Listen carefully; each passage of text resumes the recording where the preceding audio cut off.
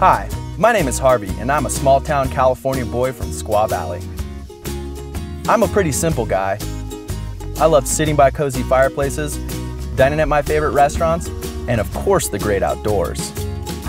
You could say I'm a lapdog with an athletic build, and most people describe me as a people's puppy.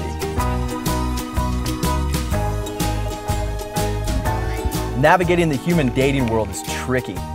I promised myself on my fourth birthday that this was the year I find my perfect match. I scoured online dating websites and have met some pretty odd humans to say the least. The first guy was Neil. Couldn't get a word in edgewise because he was always talking on his phone. And to top it all off, he wouldn't even let me in the door. You are an outside dog. That definitely wasn't gonna work. Next there was Chad. He was an interesting human being. First he showed up late and suspiciously hungry, but conveniently left his wallet at home. Hey man, I forgot my wallet. Can you spot me?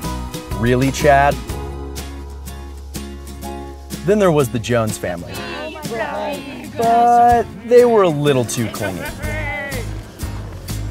And Cassandra, she was a total babe, but couldn't handle all my manliness. Ew, gross.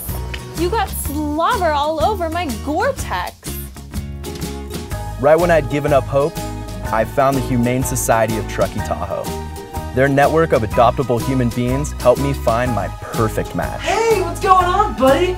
Wanna go for a walk? Come on, let's go, come on.